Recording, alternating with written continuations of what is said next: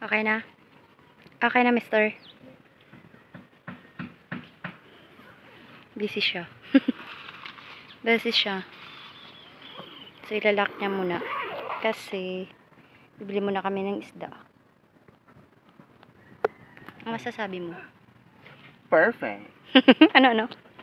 Perfect. It's sunrise. You know, sunrise.